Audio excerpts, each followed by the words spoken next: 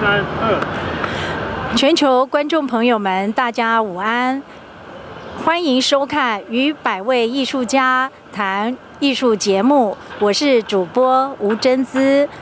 今天是个艳阳高照的好日子，非常开心能够与来自西安精英女子画院的院长李玲女士。院长您好，你好，呃，很高兴认识您。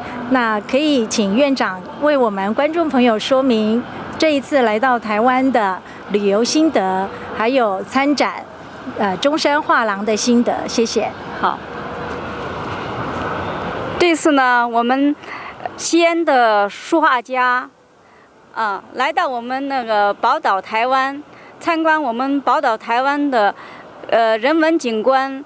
还有美好的呃宝岛的一些文化，和我们的艺那个宝岛的艺术家们交流，企业家们交流，在幺零幺大厦，我们感到呢非常的荣幸和非常的高兴啊，与我们的企业和文化互动，很高兴呢，我们互相呢学习，互相呢呃交流啊。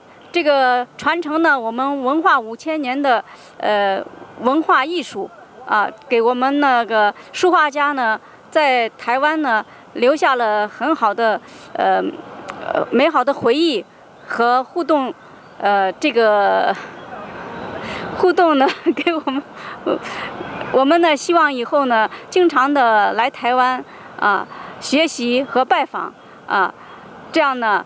我们的书画家呢，也是一个很好的充电。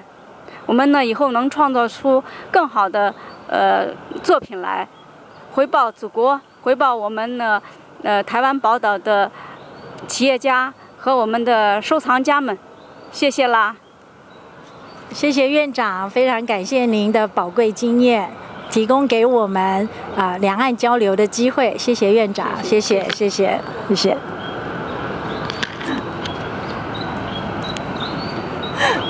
我我真的从来没有讲过这么八股的，